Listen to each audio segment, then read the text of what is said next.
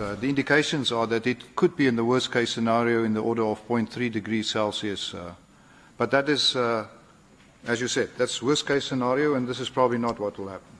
On a personal level, we are worried, but uh, as an organization, probably we are not that worried.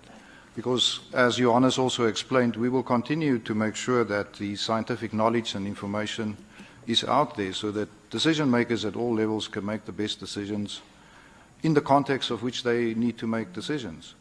And um, so I think this is an inspiring uh, moment actually for all of us, as Johannes mentioned, to make sure that our messages are clear and that we provide the best information possible.